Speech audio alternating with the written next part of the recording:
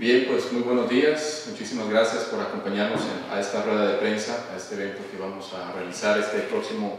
viernes 11 de marzo a partir de las 5 de la tarde y al cual hemos denominado Año Nuevo Azteca, celebrando joven. Y este evento particularmente, a diferencia de otros que hemos realizado en la explanada del Museo de Historia Mexicana, que generalmente todos son abiertos para todo público, lo vamos a dirigir muy especialmente para el público joven. El nombre Nuevo Año Nuevo Azteca, celebrando joven. Los jóvenes tendrán la oportunidad de poder disfrutar de diferentes actividades artísticas, culturales, eh, conciertos de música rap, eh, conciertos de música que va a ser interpretada en náhuatl,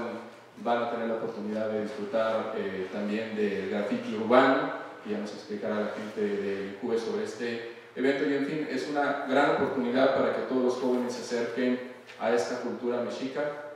eh, y a poder disfrutar también de la exposición,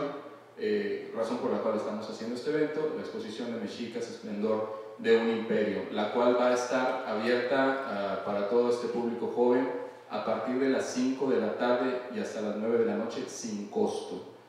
Eh, normalmente los viernes, como ustedes saben, el museo tiene un costo de 40 pesos, pero a partir de las 5 de la tarde no tendrá costo para todos ellos.